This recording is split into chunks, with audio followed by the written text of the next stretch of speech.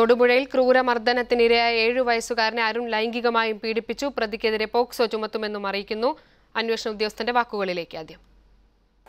ഈ കൊച്ചിന്റെ പെനിസ് എന്ന് നമ്മൾ നോക്കിയാൽ ഒരു ചെറിയ ഇതൊക്കെ കാണുന്നുണ്ട്. വീക്കം കാര്യങ്ങളൊക്കെ ഉണ്ട്. അതിപ്പോൾ അത് ഡീപ്പായിട്ട് നോക്കിയാൽ അത് ഇദ്ദേഹം അങ്ങനത്തെ ഒരു ഹാബിറ്റും കൂടി ഉള്ളതായിട്ടാണ് മനസ്സിലാക്കുന്നത്. ആ അത് അത് അദ്ദേഹത്തിന്റെ പെനിസ് എക്സാം ചെയ്തപ്പോഴേക്കും ഒരു അൺയൂഷ്വൽ ആയിട്ടുള്ള ഒരു കൺഫ്യൂഷനും ഒരു വീക്കങ്ങളൊക്കെ കാണുന്നുണ്ടായിരുന്നു അപ്പോൾ ഈ ചങ്ങാതിക്ക് ഇതിനു മുമ്പ് അങ്ങനത്തെ ചെറിയ ഒരു ഹാബിറ്റ് ഉള്ളതായിട്ട് മനസ്സിലായിട്ടുണ്ട്. അപ്പോൾ അതിന് പ്രത്യേക കേസ് ഉണ്ടാവും. മദ്യം കൂടാതെ ഇദ്ദേഹം പണ്ട് ബ്രൗൺ ഷുഗറൊക്കെ ഉപയോഗിച്ചിട്ടുണ്ട്. നവീൻ വർഗീസ് ചേരുന്നുണ്ട്. നവീൻ ശാരീരികമായുള്ള ഉപദ്രവങ്ങൾക്ക് പുറമെയാണ് ഇപ്പോൾ ലൈംഗികമായും പീഡിപ്പിച്ചു എന്നതിനും കൂടി തെളിവുകൾ വരുന്നത്. എന്തെല്ലാം കാര്യങ്ങളാണ് ഇപ്പോൾ അന്വേഷണ ഉദ്യോഗസ്ഥർ പങ്കുവയ്ക്കുന്നത്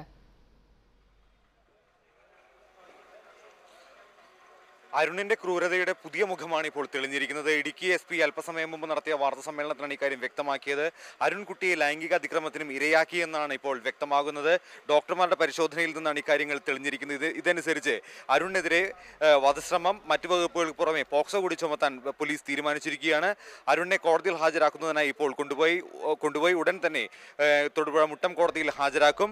ഈ പോലീസ് ഇന്ന് കസ്റ്റഡി ആവശ്യപ്പെട്ടില്ലെന്ന് വ്യക്തമാക്കിയിട്ടുണ്ട്. ആവശ്യാനുസരണമുള്ള തെളിവ് ശേഖരണം നടത്തിയിട്ടുണ്ട്. ഉച്ചയ്ക്ക് മുമ്പ് തന്നെ ഇവർ വാടകയ്ക്ക് താമസിച്ചിരുന്ന തൊടുപുഴയിൽ നിന്ന് പത്ത് കിലോമീറ്റർ മാറിയുള്ള വീട്ടിലെത്തി തെളിവെടുപ്പ് നടത്തിയിരുന്നു. ഈ തെളിവെടുപ്പിൽ കൃത്യ നിർണായകമായിട്ടുള്ള വിവരങ്ങൾ പോലീസിന് ലഭിച്ചു എന്നാണ് മനസ്സിലാക്കുന്നത്. അരുൺ കുട്ടിയെ ഏതൊക്കെ തരത്തിൽ മർദ്ദിച്ചുവെന്നും ഇടിച്ചുവെന്നും പോലീസിനെ ഇവിടെ വെച്ച് കാണിച്ചു കൊടുത്തു. മാത്രമല്ല രക്തസാമ്പിളുകളടക്കം ഇവിടെ നിന്ന് രക്താവശിഷ്ടങ്ങളടക്കം ഇവിടെ നിന്ന് ലഭിക്കുകയും ചെയ്തു. ഫോറൻസിക് വിദഗ്ധരും പരിശോധന നടത്തിയിരുന്നു. ഒപ്പം തന്നെ അമ്മയുടെയും ഇളയ കുട്ടിയുടെ മൊഴിയും അന്വേഷണത്തിൽ ഏറെ നിർണായകമായിട്ടുണ്ട്.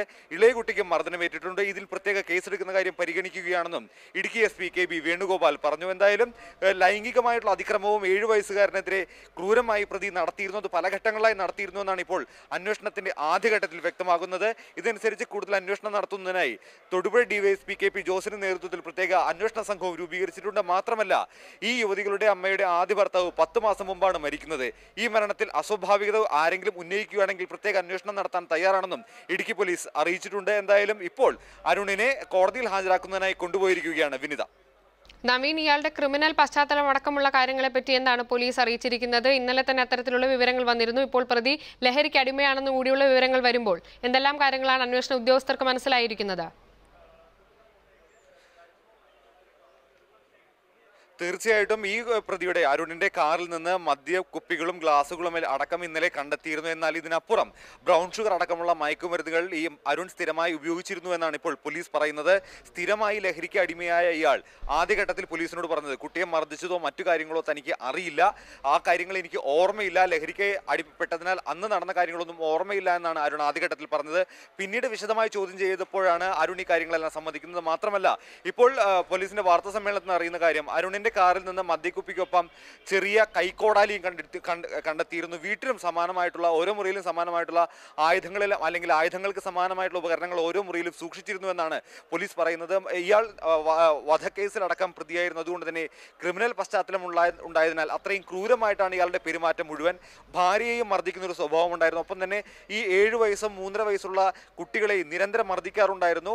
ലൈംഗിക പീഡനത്തിനും അതായത് ലൈംഗിക അതിക്രമത്തിനും ഈ കുട്ടികളെ ക്രൂരമായി ഏഹ്, ഇരയാക്കാറുണ്ടായിരുന്നു എന്നാണ് ഈ ഘട്ടത്തിൽ ഉയർന്നത്. എന്തായാലും ഇക്കാര്യങ്ങളെല്ലാം പരിഗണിച്ചാണ് പോലീസ് ഇപ്പോൾ അരുണിനെതിരെ വിവിധ വകുപ്പുകൾ ചുമത്തിയിരിക്കുന്നത്.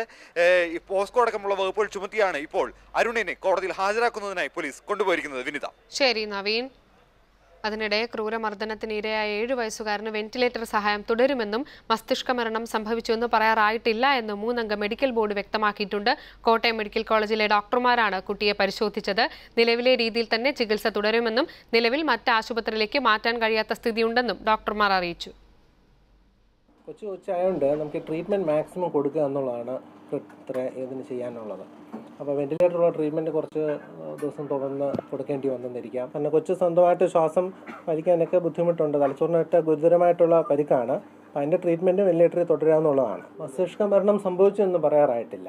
കാരണം എന്ന് വെച്ച് കഴിഞ്ഞാൽ കൊച്ചു കുഞ്ഞാണ്. തലച്ചോറിന്റെ പ്രവർത്തനം അളക്കണമെന്നുണ്ടെങ്കിൽ ഡീറ്റെയിൽ ആയിട്ടുള്ള ടെസ്റ്റുകളൊക്കെ പിന്നെയൊക്കെ വേണ്ടി വന്നേക്കാം. മറ്റ് ആശുപത്രിയിൽ മാറ്റാനുള്ള ബുദ്ധിമുട്ട് ഇപ്പോൾ ബി പി ഒക്കെ വളരെ ഒരു സപ്പോർട്ടിലാണ് മരുന്നിന്റെ സപ്പോർട്ടിലാണ് ബി പി മെയിന്റെയിൻ ചെയ്യുന്നത്. ഞങ്ങളൊരു പേഷ്യൻസിനെ മറ്റൊരു ആശുപത്രിയിലോട്ട് ഷിഫ്റ്റ് ചെയ്യുമ്പം ഒത്തിരി അപകടങ്ങൾ ഉണ്ടായേക്കാം